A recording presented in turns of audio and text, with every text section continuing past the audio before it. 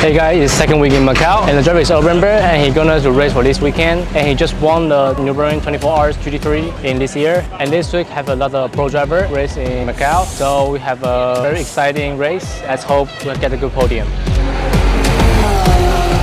and we just finished the qualify and the qualify is amazing and let's interview the driver and see what's happening on the track. So overall, we just finished the quali. How about your feeling? Quali was not too bad. Our first qualifying run we didn't get a, a, good lap time because one of the cars crashed. Then we had to go out very early on our new set of tyres. We pushed quite hard. We went into the top 7 for a while. Then the tyre pressure was way too high so we couldn't go quicker again. But yeah, top 10 starting position so I think it's not too bad. And now let's see with the madness. I think it's going to be uh, a big fight at the front. Hopefully we stay out of trouble. We make it to the main race. Yeah, okay, nice. Good luck tomorrow. Cool, thank you. Thank you.